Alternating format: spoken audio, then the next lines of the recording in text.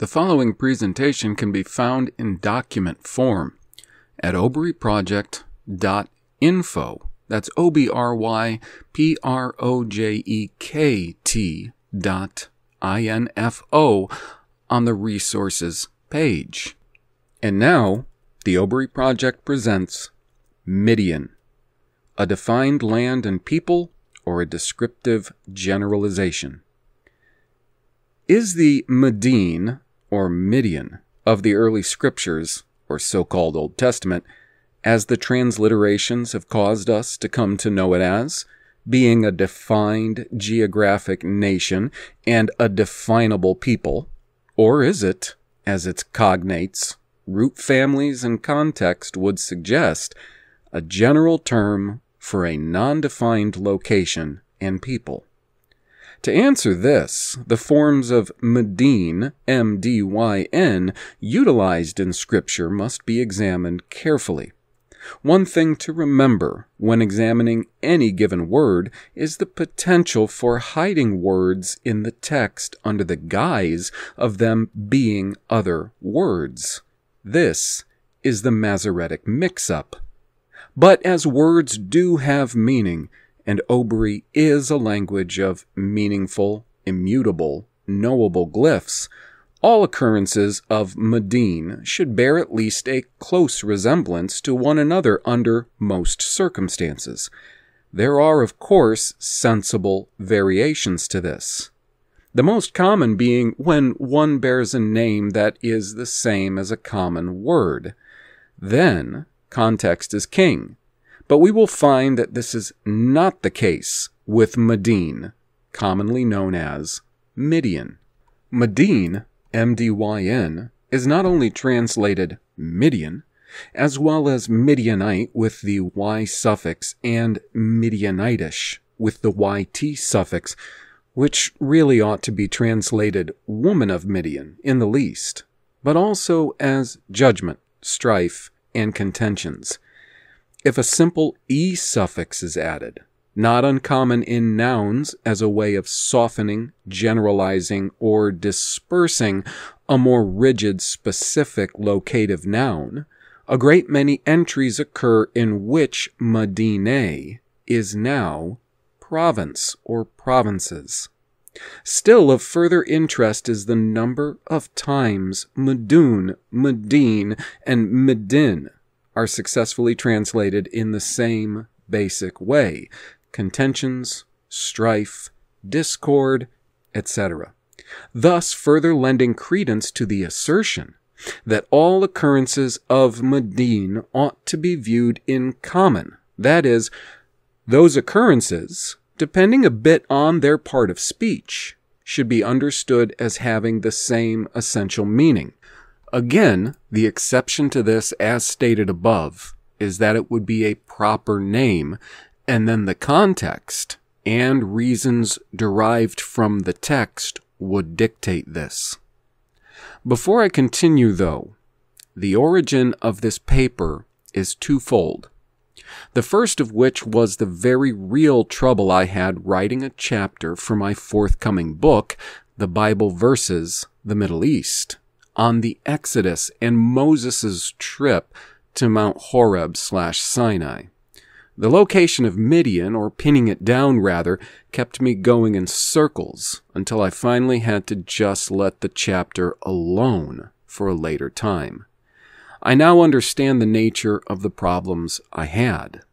The second issue that led me to this study and this paper was on a point of law I was examining which in due course we will see how problematic it was. As I began running searches for variations on Medine, the problems only increased. What follows is my examination of what we've erroneously come to know as a nation called Midian. Section 1 The Oddities of Midian. The first appearance of the word Medine MDYN, translated as Midian, are to be found in Genesis 25, with complementary verses in 1 Chronicles 1. Genesis 25 2. And she bare him Zimran, and Jokshan, and Medan, and Midian, and Ishbak, and Shua, and 1 Chronicles 1 32. Now the sons of Keturah, Abram's concubine, she bare him Zimran, and Jokshan, and Medan, and Midian, and Ishbak, and Shua, and the sons of Jokshan, Sheba, and Dedan. Something very important here is that, specifically in Genesis, when a name of an early man is given, it should be noted, and unless evidence demonstrates otherwise, should be directly connected to the occurrences of that name as a nation thereafter. We see this most specifically throughout Genesis 10 and sparsely throughout the rest of the book. Genesis is foundational. All the people known as Goyim, or nations, are to be found, or at least their roots are to be found therein. Abram's son by Hagar became the Ishmaelites. Abram's eldest grandson became Edom, and his younger grandson was Jacob Israel. But as I stated, in the case of Midian, there is evidence that speaks strongly against the idea that this late born son became what we read as the Midianites. Just a few verses after Medine is listed as being born to Abraham, we read Genesis 25, 5 and 6, And Abraham gave all that he had unto Isaac, but unto the sons of the concubines which Abraham had, Abram gave gifts and sent them away from Isaac his son, while he yet lived, eastward unto the east country. He sent them away back east. He didn't want them near his son, whom the promises of Yahweh were unto, not the least of which was to inherit all the land of Canaan. He did this same thing with Yishmael or Ishmael. Genesis 21, 11 14. And the thing was very grievous in Abram's sight because of his son. And God said unto Abraham, Let it not be grievous in thy sight because of the lad, and because of thy bondwoman. In all that Sarah hath said unto thee, hearken unto her voice, for in Isaac shall thy seed be called. And also, of the son of the bondwoman will I make a nation, because he is thy seed. And Abram rose up early in the morning, and he took bread and a bottle of water, and gave it unto Hagar, putting it on her shoulder, and the child, and sent her away. And she departed, and wandered in the wilderness of Beersheba. There was, however, a marked difference between Ishmael and Midian. Genesis 16:12 And he Ishmael will be a wild man and his hand will be against every man, and every man's hand against him, and he shall dwell in the presence of all his brethren.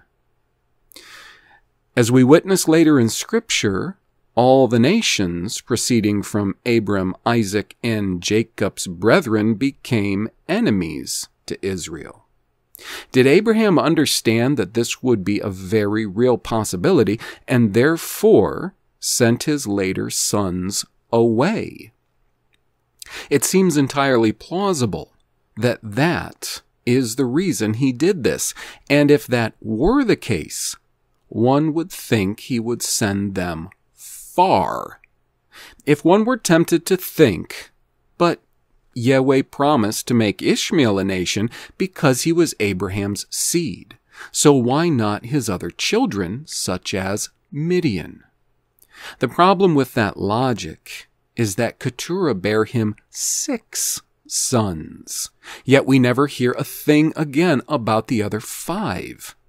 If indeed the Midian we see later is the Midian son of Abraham, Furthermore, when Abraham dies, he's buried not by all of his sons, such as was the case with Isaac and Jacob, but by his only two sons living nearby. Genesis 25 9. And his sons Isaac and Ishmael buried him in the cave of Machpelah, in the field of Ephron, the son of Zohar the Hittite, which is before Mamre. But this is only the start of the oddities of Midian. The next time we see Midian is in Genesis 36 35, which is giving a rather long lineage of Esau, the Horites, and Edom. And by the time we see Midian, the timeline has us pretty far into the future from Abraham's day. So let's look at the next chronological reference, which occurs in Genesis chapter 37. Abraham's great grandson Joseph has been accosted by his brothers, thrown into a pit, and they are deciding what they should do with him. Then we read Genesis 37 25 through 27. And they sat down to eat bread. And they lifted up their eyes and looked, and behold, a company of Ishmaelites came from Gilead with their camels bearing spicery and balm and myrrh, going to carry it down to Mitzrim. And Judah said unto his brethren, What profit is it if we slay our brother and conceal his blood? Come, let us sell him to the Ishmaelites, and let not our hand be upon him, for he is our brother and our flesh. And his brethren were content. The outstanding oddity of this passage is were they Ishmaelites or Midianites? It's tempting to try to deal with this question by thinking maybe it were Midianites who took him up from the pit, and then they, the Midianites, sold him to Ishmaelites. The problem with that is found a few verses later. Genesis 37:36.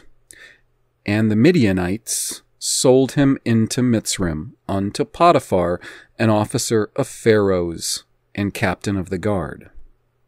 Rest assured, these Ishmaelites are being referred to also as Midianites.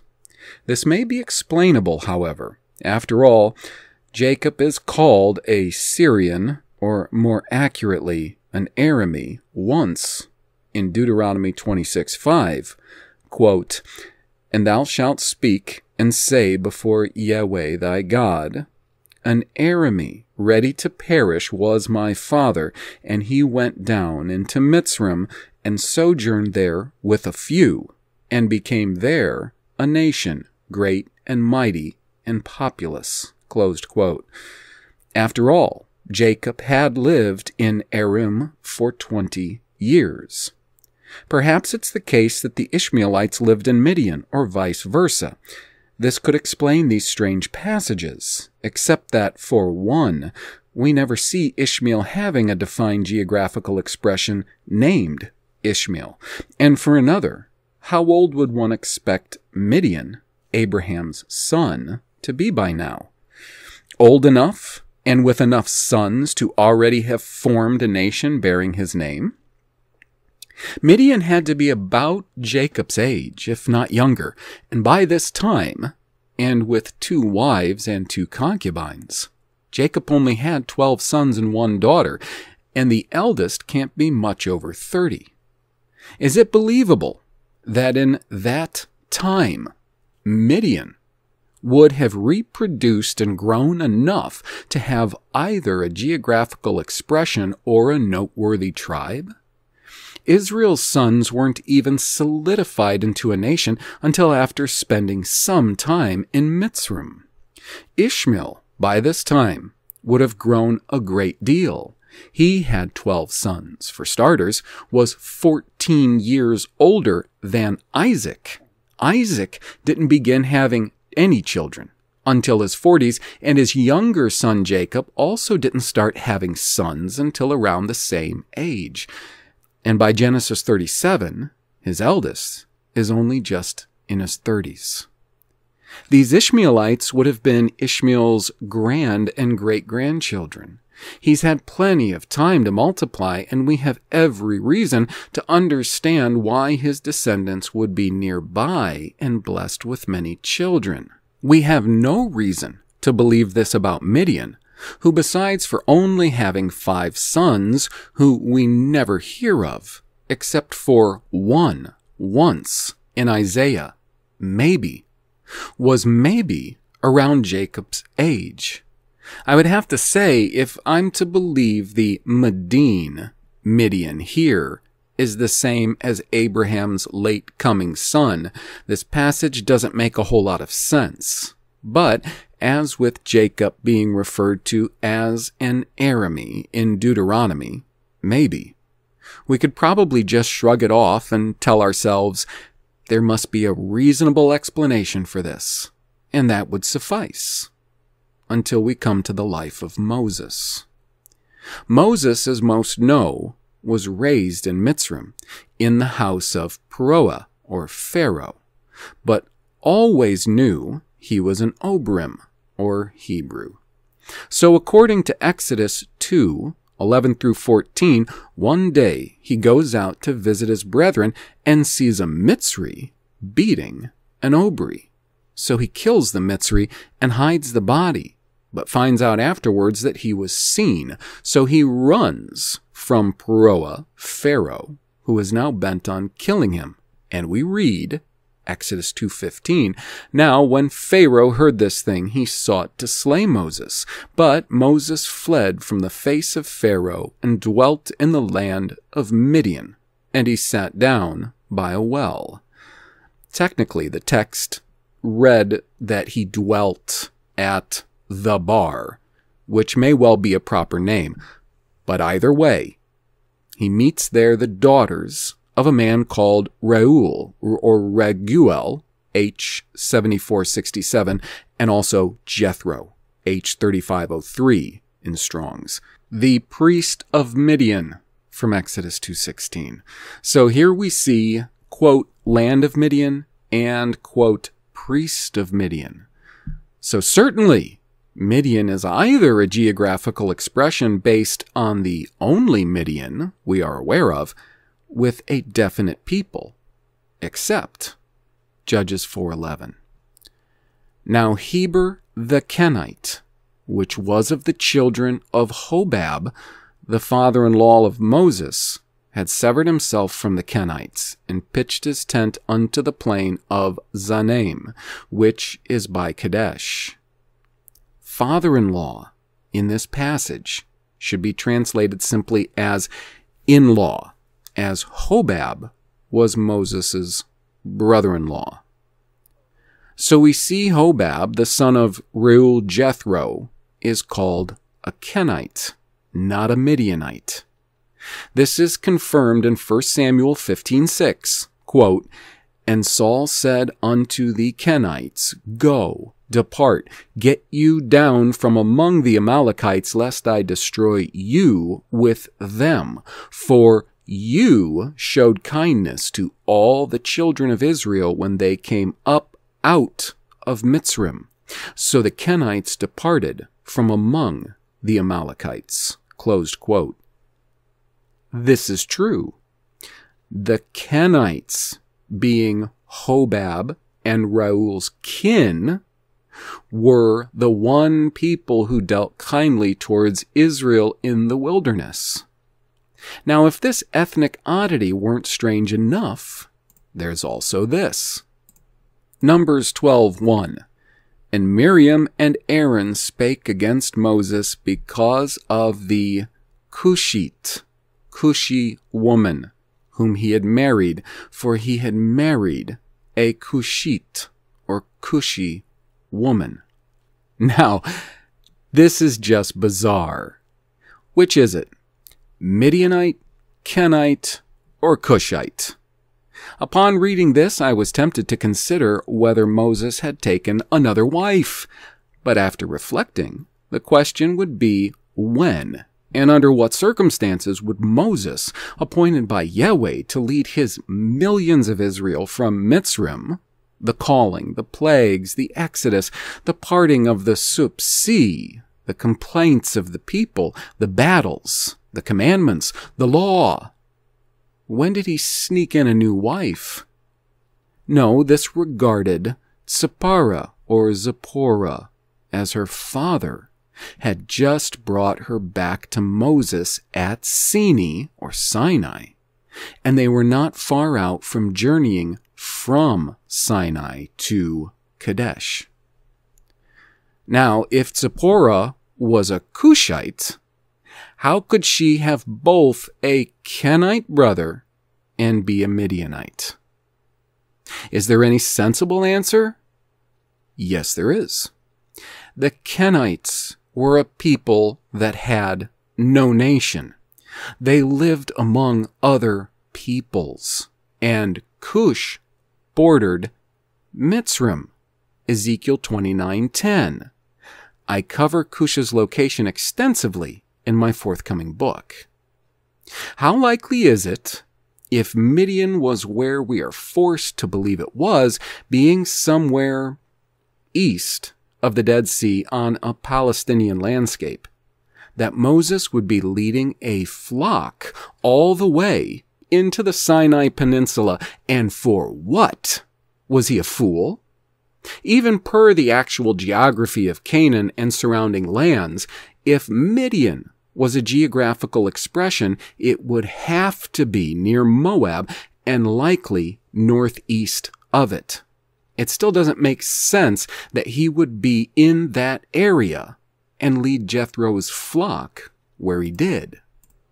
The logical answer here is that Reuel Jethro and his daughters and son Hobab were Kenites who lived in a Medine of Cush. A Medine of Cush? As in? As in a province, territory, or midlands of H4082 and H4083, used 55 times in total as provinces. But these two points thus far may not yet be convincing enough, so we will examine Midian in the context of Moab. Beginning in Numbers 22, Israel is traveled from Kadesh, sometimes Kadesh Barnea, skirted Edom and Moab, and are camping in a region oft referred to as Eretz Moab, or land of Moab, though it isn't Moab proper. We know that because in Deuteronomy 2 9 through 25, Israel is forbidden by Yahweh to infringe upon the land of Moab and the land of Ammon, because Yahweh has given those lands to the children of Lot. Notice, Yahweh never commands them to not infringe on Midian, a son of Abraham, nor does the text in either Numbers or Deuteronomy tell us Israel was near to the borders of Midian? Yet, Midian had to be near. It was the Midianite women who drew the Israels away after their so called gods. If Midian were a geographical expression of a particular nation, they would absolutely have to be right next to Moab. In Genesis 36:35 and 1 Chronicles 1:46, we read, Genesis 36:35, and Husham died, and Hadad, the son of Bedad, who smote Midian in the field of Moab, reigned in his stead, and the name of his city was Avith. And 1 Chronicles 146 says the same. It would be odd to smite Midian in the field of Moab if Midian were not near, or at least in the direction, of Moab. But these are only supporting verses of the bigger picture of Midian's relationship to Moab, found in Numbers and Deuteronomy. In Numbers 22, the Israelites have just conquered Sihon, the king of the Amorites, and the children of Israel are camping in the plains of Moab. But they haven't disobeyed Yahweh's command to not infringe upon the land of Moab. How is this? It is because outlying lands would typically be called of the nearest place that had any influence thereon. We often see this with Midbar wilderness of, then the place name, like Midbar Kadesh or Midbar Yehuda. That doesn't mean that if one sets foot there, that they've infringed upon them. These are the outlying lands, or when other nations with definite borders are nearby, they would be the midlands. These lands would likely be frequently disputed, which we have seen even in our own day. This is how borders often change on our maps. Midlands, Midian. That's interesting. So while Israel is encamping in the orbit plains of Moab, the king of Moab conspires with the elders of Midian to hire Balaam to curse Israel. When this action fails, Numbers 31:16 as well as Revelation 2:14 tells us Balaam had advised Balak, king of Moab, to cast a stumbling block before Israel, to eat things sacrificed to idols, and engage in illicit sex with the women of Moab. Or is it the women of Midian? That's the question, isn't it? The first verse of Numbers 25 reads, And Israel abode in Shittim, and the people began to commit whoredom with the daughters of Moab. But within a few short verses, there's this from Numbers 25, verse 6. And, behold, one of the children of Israel came and brought unto his brethren a Midianitish woman in the sight of Moses and in the sight of all the congregation of the children of Israel, who were weeping before the door of the tabernacle of the congregation. And thereafter we read of nothing but the Midianites and Midianitish women. Where did Moab go? Even after the affair is over, and Yahweh tells Moses his last duty is to exact vengeance upon them who led Israel astray, they go after Midian, but not Moab. And here I thought Moab was the one behind all this. To further complicate the matter, in Deuteronomy 23 1 through 8, when Yahweh is instructing Israel via Moses on who may or may not enter into his quell or special assembly, I was expecting to find Midian. But Midian isn't to be found. No, Yahweh says, Deuteronomy 23 3 through 6, an Ammonite or Moabite shall not enter into the congregation of Yahweh, even to their tenth generation shall they not enter into the congregation of Yahweh forever. Because they met you not with bread and with water in the way when you came forth out of Mitzrayim, and because they hired against you Balaam, the son of Beor, of Pethor, of Aram, of rivers, to curse thee. Nevertheless, Yahweh thy God would not hearken unto Balaam, but Yahweh thy God turned the curse into a blessing unto thee, because Yahweh thy God loved thee. Thou shalt not seek their peace, nor their prosperity all thy days forever. Imagine my chagrin to not only not see Midian in there, but to also see Ammon. What, after all, did Ammon have to do with this? Is there any way to make sense of this? How unjust this seems. But Yahweh is not unjust. What then is the truthful and reasonable solution? It is most certainly, as we just read, that Moab and Ammon were the perpetrators of the malevolence against Israel in the matter of Baal Peor. And it is most certainly, as we read in Numbers, that Israel was carousing with Midianite women. And we see further evidence of this in the matter undertaken by Jephthah in Judges 11. Therein, The Israelites of Gilead, the region, also those of the subtribe Gilead of the tribe Manasseh, be careful not to confuse the two, as the Gileadites of Manasseh lived in the Gilead region, which took its name from Jacob's pact with Laban in Genesis 31. They asked their brethren, or brother, Jephthah, to intercede with Ammon.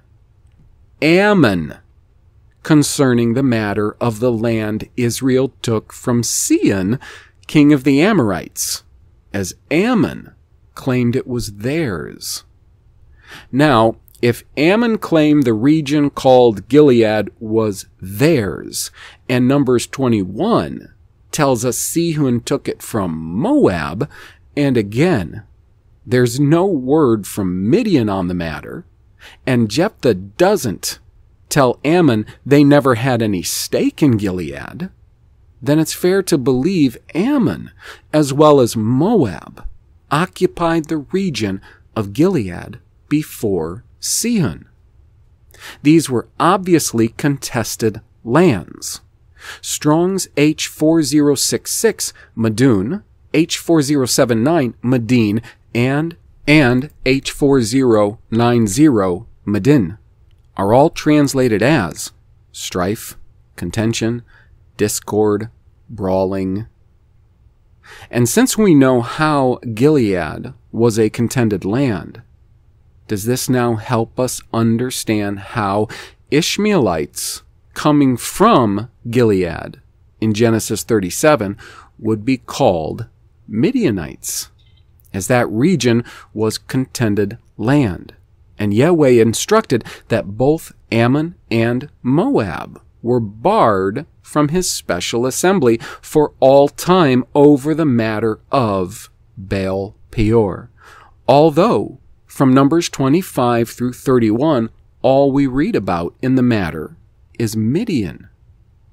Is it not fair now to say that the Midianites were in fact Moabites, and Ammonites who lived in the provinces, H4082 and H4083, or the Medinae, or contended over lands.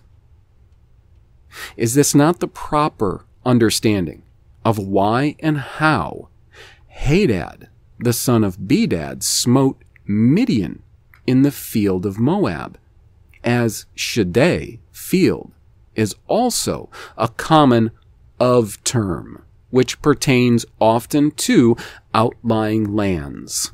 Field of Moab from Genesis 36:35 or field of Ai from Joshua 8:24 or field of Edom from Judges 5:4.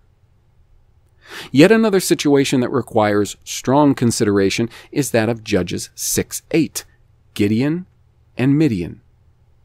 The two very odd things about this narrative are one, Midian's numbers, and two, Midian's retreat.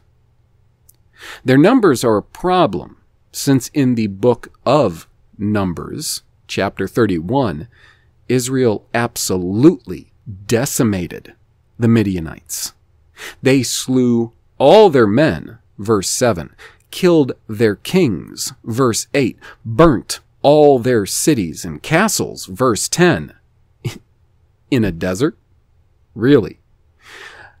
And took all their cattle, beasts, possessions, and women, verses 9, 11, and 12.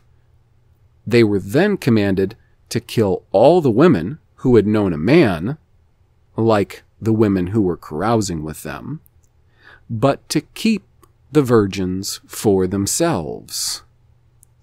If this were a specific people and specific geographical nation, they weren't anymore unless all is unclear here. This is not among the verses in which cull, H3605, or all, needs further qualification. Israel decimated the people who were responsible for the matter of Baal Peor the Midianites. But as Judges 7:12 attests, quote, "And the Midianites and the Amalekites and all the children of the east lay along the valley like grasshoppers for multitude, and their camels were without number as the sand by the seaside for multitude. As the narrative from chapters 6 through 8 tells us, the Midianites were among the chief offenders as far as numbers and leadership, but yet Israel utterly decimated Midian only about a century before. Did they forget someone? Did they only destroy a portion of the Midianite kingdom that apparently must have been quite vast? Vast enough that their borders are not once mentioned. No telling of Israel going from Kadesh to Shittim mentions them having to go around Midian or being near the borders of Midian. Strange. And here is Midian, like grasshoppers or sand on the seashore, without number. Now, don't think I've forgotten about the Amalekites or the Beni Kadem, children of the East. I haven't. They certainly could account for the vast numbers of men recorded in Judges 712 but not for the direction they flee towards. In Judges 8 3 through 8, Gideon is pursuing two kings of Midian, and in the opposite direction than where other earlier verses seem to indicate Midian would be as a geographic expression. When enemies retreat, they tend to retreat to their own land but if Midian is near Moab, as other texts would suggest, it's inexplicable as to why these kings would head in the opposite direction. They had no foes ahead of them to cut them off, and no other reason given in the text as to why they would do something so counterintuitive, unless they headed towards their home after all, being Medine a province or contended territory. On this point, some may be tempted to say, perhaps Midian is north, in Gilead, and I've misinterpreted all the other texts. But that cannot be. The first reason is that Reuben, Gad, and half Manasseh occupied all Gilead, as per Deuteronomy 4 and Joshua 13 besides all the former evidence to this point and the following passage 1 Kings 11 14 through 18.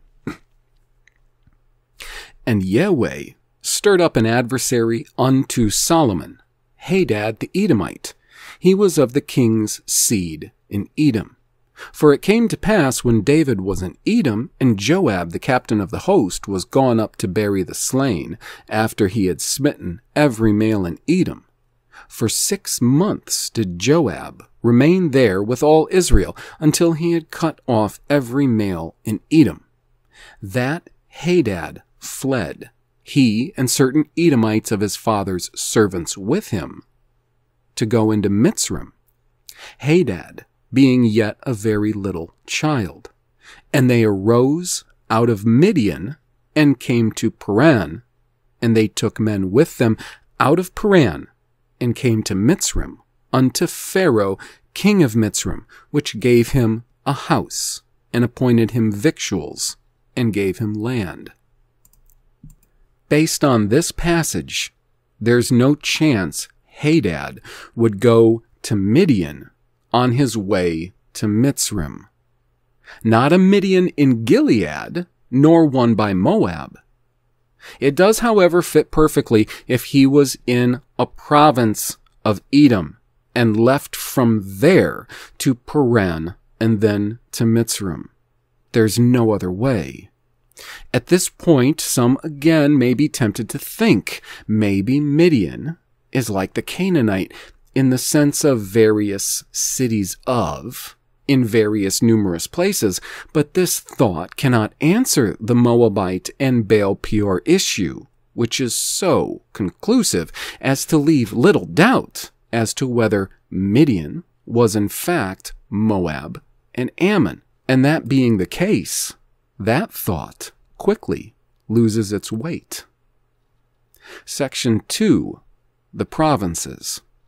As already stated, there are really three ways in which variations of Medine are used in Scripture as Midian, a perceived nation, as strife, contention, etc., and as province or provinces. Province could just as well have been translated as district, territory, colony, or domain. Concerning the understanding of Medine, province, 1 Kings 20 proves this is not necessarily a land held by an ethnically foreign ruler. 1 Kings 20 and 19. So these young men of the princes of the provinces, Medina, came out of the city and the army which followed them, and they slew every one his man, and the Arameans fled, and Israel pursued them, and Ben-Hadad, the king of Aram, escaped on a horse with his horsemen. The provinces, or Medinut in this case, would have been all the cities and governorates around Shomron, or Samaria, which Samaria had direct control over and offered protection for in a time of war. They had a great deal, obviously, and this would be why such a large area of the kingdom of the house of Israel became known simply as Samaria. In this case, the Medinut, which is the plural of Medine, would be cities slash lands under the direct dominion of Samaria, likely with special privileges and special duties. The Medine, with the generalized E ending would be places that, for whatever reason, were either currently under another authority or that had traditionally been places that changed hands. The reason that early in the scriptures we see mostly Madin, M-D-Y-N, and later we see mostly Madine with the E ending, is that as these various nations grew, lands that were once territories of contestation became more permanently absorbed into nations that now had more stable boundaries, and places that gained a reputation for fluctuating between outside governments for whatever reason would become generally known as Medine or Madinut in the plural. But what about the differences in form? Medine as opposed to Madine. Isn't that significant? I would ask what the difference is between Midbar and Midbara, H4057, as both are translated wilderness or desert when the text just has to sound more Middle East like. How is it that H6790, Tsan, different from Tsane? Both are translated as Zin. It's the same place, same thing, simply with an E ending, which has a softening or generalizing effect, as in the general area of, or the general idea of. Tsun equals Zin proper, as opposed to Tsane, equaling the whereabouts of Zin. How about H2022, air, or ere? Both are translated as mount or mountain. Genesis 14:6, and the Horites in their Mount Air, Seir, unto El Paran, which is by the wilderness. And Genesis 14:10, and the vale of Siddim was full of slime pits. And the kings of Sodom and Gomorrah fled, and fell there, and they that remained fled to the mountain, Ereh. In the preceding verses, 1410 should have read the area of the mountain, or something similar. Even more appropriate would be a comparison with a word like tzedek, righteousness, a state of being right or just, as H6664 tzedek is used far more as the specific, as in just weights, just judgment, the just law. But as H6666 tzedakeh with the E ending, it is righteous or righteousness as in a state of or just in general. Quote, and he believed Yahweh, and it was counted to him for righteousness. Tzedakeh, from Genesis 15:6. This is the case with an innumerable amount of so-called nouns. The difference being only in how specific the author intends to be concerning that noun. Was the law tzedek, just? This is specific. Was a man tzedekah, just? This is general. How then would it apply to Madin?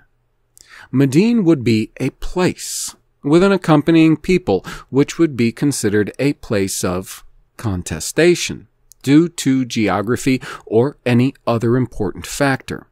A Medina would be a place with an accompanying people that very well could be under contestation, but is instead being ruled over in at least relative peace. The E at the end doesn't change the meaning, but the intensity. It's not currently under contestation, but is a place or thing contested over. This is why Jeremiah in Lamentations 1 1 groups Jerusalem in with other provinces. Madanut, because she was by then and for some time now a contended over place. Solomon ruled over various provinces. From Ecclesiastes 2.8 and 5.8. These were lands contended for by him, his father David, and his successors. There is very little difference in the minds of the writers of Scripture between Madin and Madineh, other than its current state of being. The biggest difference is whether a Jewish Masoret or translator with either good or bad intentions wishes it to be either contention slash strife, province, or Midian. Section 3 Root Family and Cognates. A relatively quick look at the possible roots and likely etymology of Medine to Medine will help to solidify what is being expressed when we see Medine, though it appears to us in most translations as Midian. The only two possibilities for roots are either med, md, or den, dn. The med root can be positively identified in three simple words. H4055, med, noun, translated as garment, armor, measure, raiment, judgment, a, a variant, or clothes.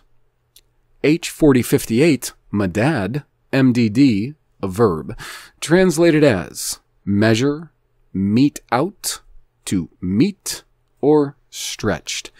And H4060, made, with that E ending, as a noun, translated as measure, piece, stature, size, meteyard, garments, tribute, or wide.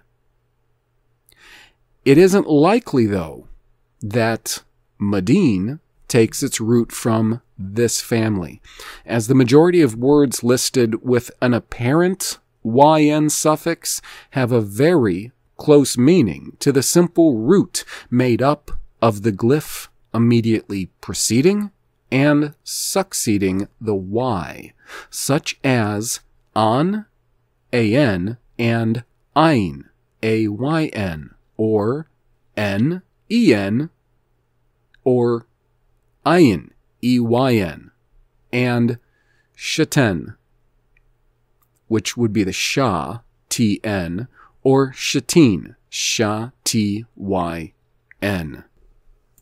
These pairs of words all having similar or the same translation or meaning.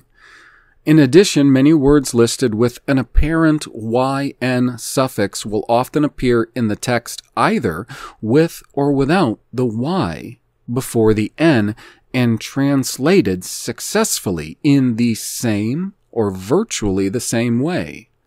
What this indicates is that the root is likely contained in those two glyphs immediately preceding and succeeding the Y. In this case, it occurs in the latter part of Medine. Dan. Dan.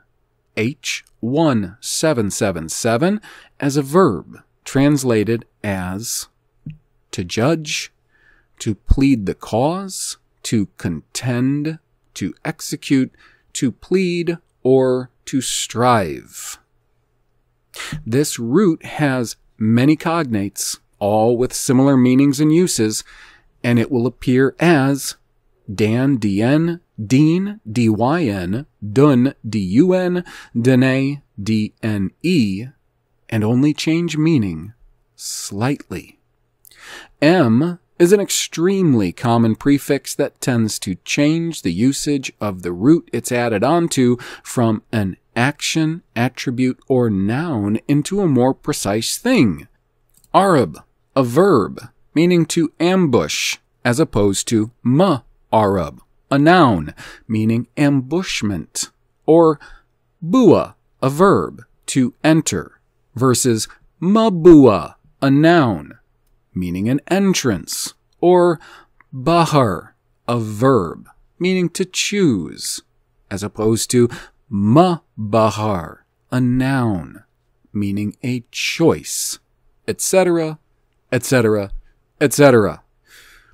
Dean, D-Y-N, meaning to judge, contend, strive, becomes madeen, a thing contended, a thing judged, a thing striven over.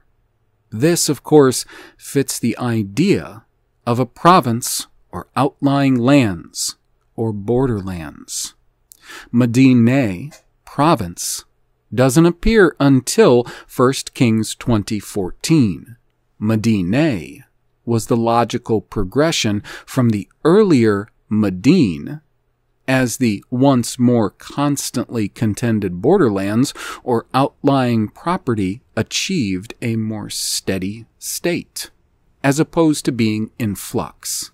Locations that were once in greater states of contention but had become more stable, though still typically ruled over by another people or city, would simply go from being considered Medine, M-D-Y-N, a contested thing, to Madine, M-D-Y-N-E, a stable province.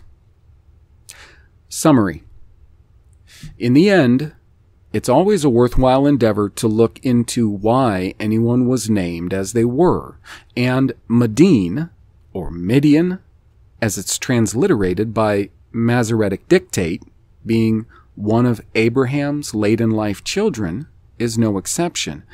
But at least now, having an understanding of what Madin, Medine, Medun, Medine, denote and connotate, it will make considering the circumstances of that son of Abraham become at least a little bit more understandable. The great takeaway here is the lack now of confusion about who and what a number of people who are labeled as Midianites, as though they were a distinct nation with a distinct geographical expression, actually were. They are various people sometimes Moabites and Ammonites, sometimes Cushites or Edomites, and living in contested territories, borderlands, and in sometimes homogeneous governance, such as Samaria and its Madanut, or provinces. Does this have strong implications on the text as it currently stands? Of course it does. It affects geography, ethnology, and the law, among other things, but to properly understand this is to have real knowledge, which is great power. A power that bad translators, deliberate or accidental, have taken away from us. Often revelations like this one are difficult to cope with, especially if one has built a theological system around the old faulty way. But those who truly love the truth will find a way to incorporate this newly found understanding into their biblical and world views, as no truth is really new, but has just gone unknown for some time. I'm not pioneering after all, but merely rediscovering. This is restoration. Yes, the enormous gain to this is the greater understanding one will now possess in all matters matters of geography, matters of law, matters of politics and social dynamics. And all understanding gained about Scripture is empowering. This new knowledge will give us greater power against critics, against false assumptions and erroneous teachings, and against contrived histories, phony discoveries, and questionable deuterocanonical texts. Is there yet any translation that is aware of this problem? Not that I'm aware of. But we can hope that responsible translators will consider this new information and work to generate better, more accurate translations. All who read or hear this can rest assured that an OBRY Projekt translation is certainly on the horizon and will not falter on this and so very many other vital points. For now, keep in mind that context is ever critical and arm yourself with the knowledge that H40, 66, and 68 Madun, H40, 79 through 81 Madin, H40, 81 through 83 Madene, H40, 84 Madini, H40, 90 Mudden, and H40, 92 Madani are all very similar in form and therefore usage. We've seen ample evidence that speaks against the idea that we are looking at a defined people from the latter sons of Abraham, as well as abundant evidence that Medine is a contested territory and Medini or Midianites are simply the peoples identified with those territories, like provincials or colonists or settlers. In all things, stay vigilant and wary of most translations brought to us, in large part by conversos and Shabbos Goy Pharisees. None of this is easy on the reader or the researcher but it's the due diligence we must exercise for the sake of those who come after us, those who are counting on us to turn the world of lies and darkness into a world of light and truth. I'm relying as much on all of you as you are on me. So I expect you to look into this matter for yourself don't simply believe me or anyone, but prove all things. For the OBRY Projekt, I'm John Machtemes, bidding you kind regards and Godspeed.